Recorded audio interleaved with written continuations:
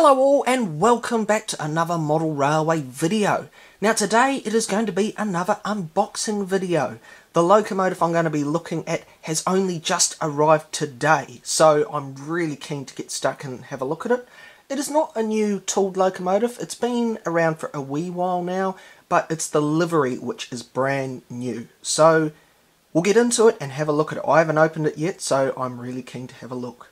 So here is the locomotive and it is Hornby's Ruston 48 and it's in the new GCR livery. I don't really know much about this livery yet, I haven't really done any reading on it, but it is a new livery, nice green livery.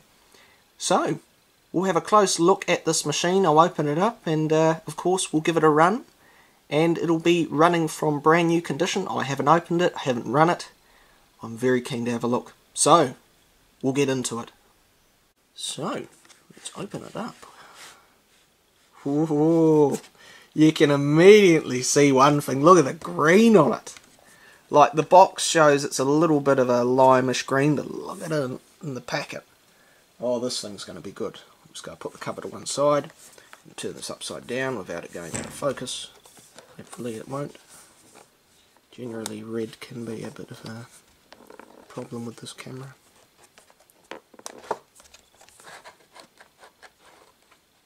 There we go. So, let's take a look what we've got. We'll have a look at what we've got. So this is a common thing. I've got an other Ruston 48 locomotives and it just shows you, um, I'll read it. So it says, please note, you need to ensure that the front and rear sockets are pushed into the chassis before attempting to remove the body. And what it is meaning is you've got these little pockets for where the wires plug in from the wagon, which I'll show you shortly. Um, this is just for more pickups. And they've just got to be pushed in in order for the body to be removed, is because they're on a little loose fitting. So yeah, that's what that's for. And then you've got your standard um, instructions. 48DS and flatbed wagon. And the reason these have a flatbed wagon, as I said, it's for pickups. It's because, as you can see, it's a very small locomotive. Can I open this? There you go. And that's the diagram. I don't know if I ever looked at my um, instruction manual for this thing. Or my other ones. But yeah, shows you the underside where it um, connects. Shows you the body removal. Look how tiny the chassis is on the thing. Oh, it looks so cool. looks so dinky. And then it shows you your DCC socket, your couplings, and you've also got a bit that you can plug in on the front to fill in the empty space on the um, buffer beam if you don't want a coupling in there. So that is what that's for. So that's my instructions, and have I folded it the right way over? Oh, doesn't matter, I'll put it to one side. Oh yeah, I have done. Right, okay, so I'll take it out of the box and then I'll reposition the camera to show you it up close. But let's slide it out of its little sleeve and take a closer look at this thing. So that's the plastic sleeve off. And it's got your little detail bag. And it comes with, how many couplings has it got in there? It's got three couplings. So one coupling will be for the um, front end of the loco. Well, actually, there'll be two couplings for the loco and then one for the wagon because the wagon's slightly different. And then it's got two blanking plugs in there. Right. Let's have a look at this. I love that colour. Oh, gee, that's gorgeous. Sorry, I'm getting overexcited. Getting overexcited. I do that.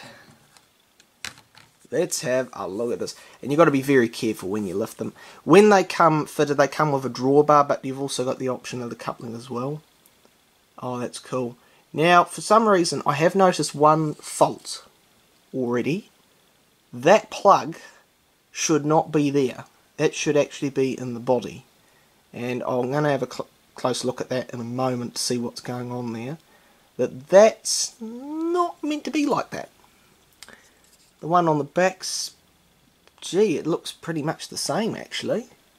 They're just out a bit too far. I don't know why that's split like that. I didn't have that on my other one. So, out of the box, that's very interesting. It's very, very interesting, as a matter of fact. But yeah, we'll have a good look at that in a moment. But as you can see, the colour, ho ho, that's absolutely stunning. So, I will plop it down there. I'm now going to move all the packaging out the way. We'll take a closer look at this thing up close. Said it twice, but oh well. And yeah, we'll have a good look. Here we go. So there we go, that is the loco on the white background. Now, unfortunately, this problem with these um, plugs has not been resolved. I've managed to push this one slightly further in, but that's as far as it goes without it stopping. I don't want to force it because I don't want to break anything. So we're just going to have to see what happens with that one. It's a bit disappointing considering it's a brand new out-of-the-box locomotive, but at least I'm, I'm hoping it's not going to affect the performance of the thing, but we'll find out soon enough anyway. So, we'll start with the side of the loco and have a look at the details. So, we'll start with the lettering and the plates. So, number one is this locomotive. It is GCR number one, I would imagine. It's got a nice little plate there, which is gold on the outside, then you've got the gold number one, and then black on the sides of the one. That looks really nice. And then underneath, you've got the GCR print, and this is done with the three-dimensional effect. That looks really nice, the yellow on the green, and I like the fact with all three of the plates or prints that are on the side, they're all in different colours, so it just makes them all stand out individually. You've got the common Ruston and Hornsby plate on the side, and that has been really well done. You've got another little plate up there, I'm not sure what that is. And there's another one there, I haven't actually seen what that one is, I can't see it from where I am, you might be able to see it on the camera. But yeah, nice and finely done and you will be able to read those if you have a magnifying glass or you look real close they will have words on them so there's plenty going on on the cab you can see they've got the um, clear plastic there for the windows and you can also see how this one's been done to make it look like it's got the sliding window that looks really nice you've also got a black lining going around these windows and on the one on the door that looks really really nice and you've also got a little tiny door handle there. It looks really cool. It's painted in silver, looks nice. You've got lining also around the door itself. That looks really, really good as well. Plus the addition of separately fitted metal handrails, which are painted black. They look really good as well. On the um, nose of the locomotive, you can see that there's all sorts of rivet detail, divider lines where panels would be on it where you'd open up to get to the motor. You can also see the fine little vents there. They look really, really nice. And you can also see from this angle, you can see the little radiator cap and the little fuel cap there as well. And there's other bits up there which I'll show you in a moment from the front view. The frame is not really painted, it doesn't have any painted detail, but it's got some nice rivet details, the steps that lead up to the cab. You've got the really nicely fitted Ruston style wheels, the four holes in them. They look really cool when they're ticking over when going around the track. And you can also see the buffers, which are there and there. They look really nice. And you can just see the start of the buffer beam where that red plate is on either end as well. You can also see the sanders and the brake blocks fitted as well. They look really nice. We'll turn it front on now, have a look at its the front view. And again, I really like this um, how they've done the plates on this. I'll zoom in on it. I'll see if I can zoom in so you can see it a bit more clearly. Centre it. But you can see the little Ruston plate which is on the front with the red background with the white border and you've got the white writing. That looks really nice. Just push that in. You've also got this really nicely done grill. That looks really, really good. You got, I believe those would be lamp brackets, possibly. I'm not sure what those are for. They look like lamp brackets to me. You've got the coupling in the middle, the what would be the real one. You've got the buffers. They look really nice. They overhang the frame a little bit, but these locos are so small, this would be the standard position on the wagons. And you can see like the wagon at the back is slightly overhanging it a wee bit. You can't see it on that side because the angle I've got it on, but yeah, it's slightly more slimmer than um, other locos. But yeah, and then you've of course got your red buffer beam, and that looks really good. We'll zoom out now. You've got other bits of detail like your cab headlight. there's a little air horn there I believe. You can see the radiator cap there and the, um, the fuel cap. And you've got your tiny exhaust which is going up there. And again, clear windows with a black border. They look really, really good. And you can also see those handrails to the cab a little bit better on the side view as well. A little bit further out and you can also see this bar that runs along the bottom. That's obviously to stop anything going underneath the wheels. And then of course our troublesome little connector plug which is sticking out too far. The other side of the loco I'm pretty sure will be exactly the same.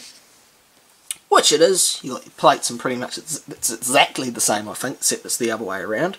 You've got the um, door handle, of course, the other way around. It's, yeah, pretty much exactly the same as the other side, but back to front. One thing I didn't mention, though, which I should point out, is the loco on the frame. It's got these little eye hook things there, and that would be, I'm pretty sure, what it would be fastened down with on a wagon, because I have seen these, like, being towed by other trains, but on a, like a well wagon, and I'm pretty sure that's what would be used to fasten it down. Now, cab detail on this, I haven't actually looked inside one of these to see if there's any cab detail from where I'm at. Uh, I can see something in there. There's a little, um, could be a seat or a brake, I don't know, the little black thing there, I don't know what that is. Um, no, it doesn't really look to be any cab detail in there. I can't see it in great depth. If there is any, I'll mention it, or if I can get a better shot, I'll try But for now I'll leave it there. Can't really see much going on in there.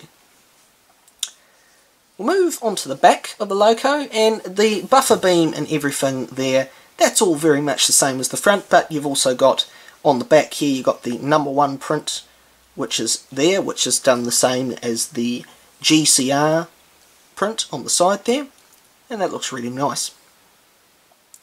You've got the headlight, well the rear light I should say, which is on the back it looks good. And then of course your windows again. And we'll have a quick look at the roof. You can see there is, in fact I shouldn't be using my fingers, I should use the pointer looks a lot better. You can see just there, that's the exit for the exhaust, right there. And then you've got some rivet detail in your divider line there, and the lines around the side. And then again, your fuel cap and your radiator cap there, and the dividing lines.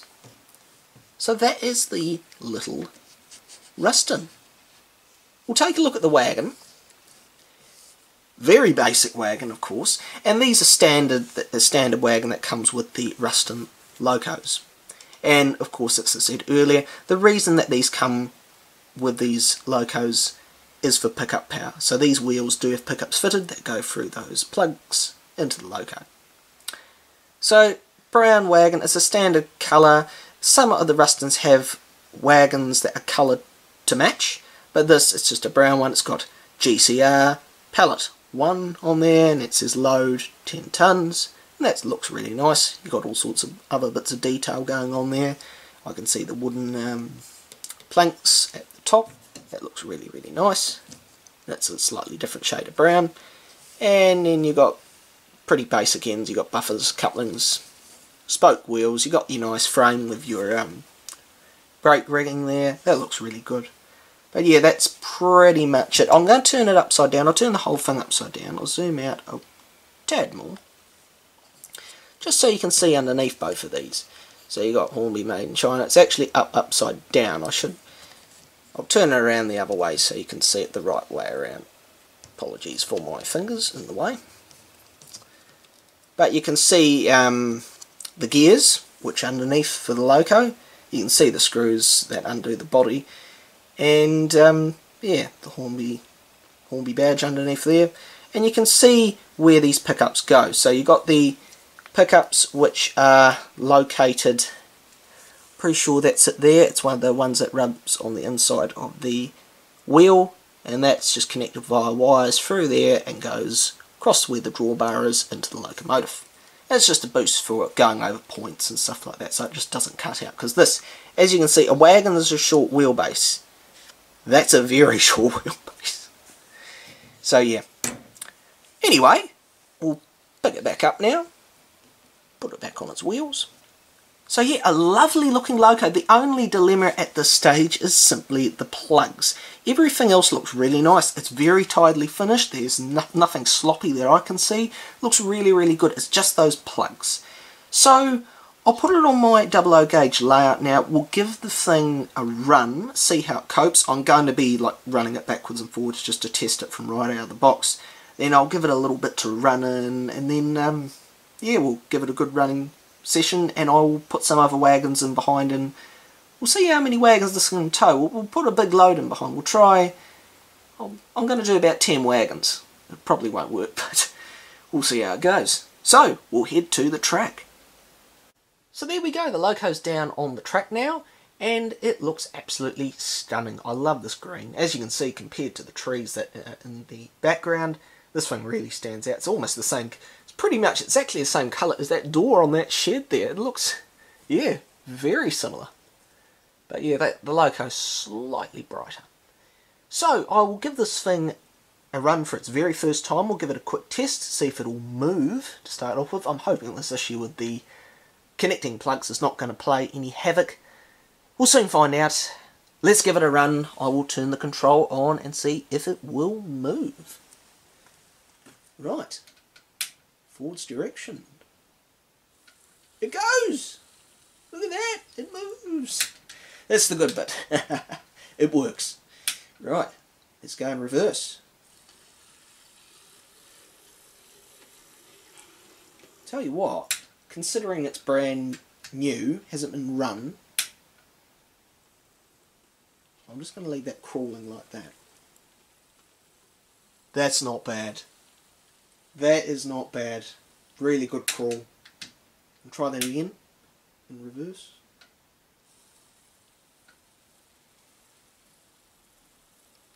That's good. That's really good. So it runs pretty well, so I'll, I'll back it up now run it past a little bit quicker, see how that looks. Yeah, that ain't bad. Cool. So that looks good. So I'm going to start off running it, and I probably will for the whole video. I'll run this thing with the wagon connected as it came with the little drawbar. I'll be running it on the inside line. I might possibly run another one of my little Rustons on the outside track so we can see them both running. But the performance of that right out of the box is really, really good. It runs a nice, good crawl. I am going to try and keep this loco at a slower speed when it's running. I'll let it run in and, um, yeah, we'll put some wagons behind it after that. So, we'll set it on its way around the track.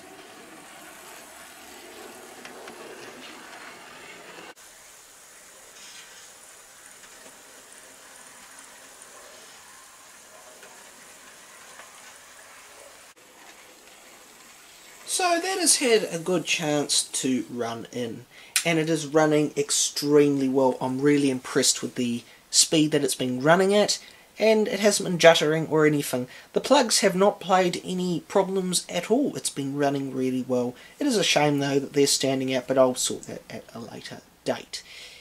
Anyway, I'm going to do what I said before. 10 wagons. Let's see if this Ruston can cope with them.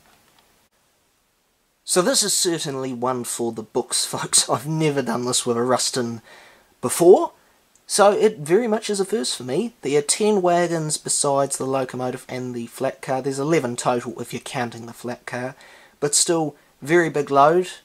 I don't normally overload locomotives. It's something I don't like to do, but in this particular case I'm very keen to see how much one of these will haul. I've never actually bothered trying I don't know why.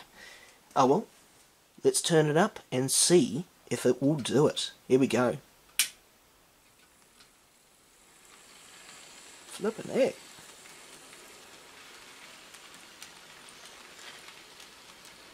No sweat with it. It's just...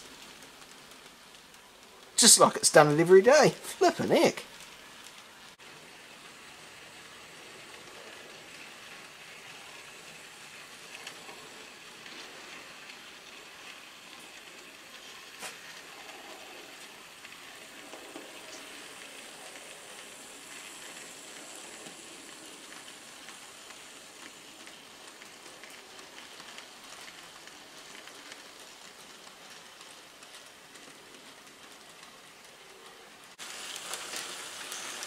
I tell you what folks, it is not really giving any strife hauling that, it's just one consistent speed. Really good. Now just for a comparison of what other Rustons are available, here is the DVLR one, which is named Jim. A very lovely locomotive.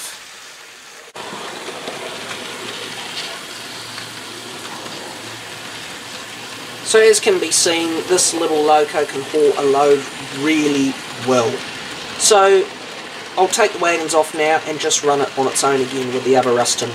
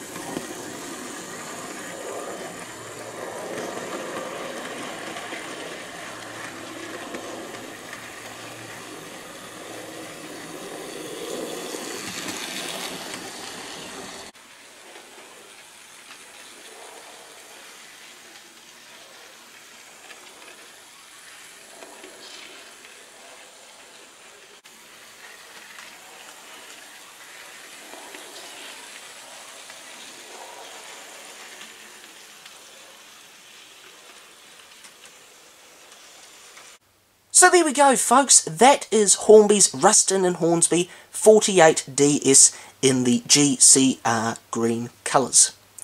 I found one interesting thing out about the engine. It does have a name. I only just found it out. That little plate there is actually the name. It is called Quag. Q-W-A-G, Quag. What an unusual name, but it's an unusual loco in an unusual colour, so it suits. I think it's quite cool. But yeah, Quag number one. Very unusual. But yeah, a really good loco, performs really well. The details have been applied really well to this. Good slow speed runner. Really, really good. It's just unfortunate about that issue with the plugs. But it's not affecting the loco's performance, so for now I'm just going to leave well enough alone. But when it does come time to service this engine or take the body off for anything, I will need to sort that and I may eventually do a video of how to fix the problem, but I'm not bothered by it. I'll just go leave well enough alone for now. Anyway, there's another box unboxing video to come up still, which will be quite an interesting one because it's a continuation of another video, but the Loco is still yet to arrive. It'll be a little while yet, I think about another week, but that is still to come. But I hope this one has been a good unboxing video anyway, is because I haven't seen anyone else do one on this particular version of the 48DS yet. But, uh, yeah, no, I've enjoyed it. It's been good. Anyway, hope you've all enjoyed it out there. Have a great rest of your day. Bye for now.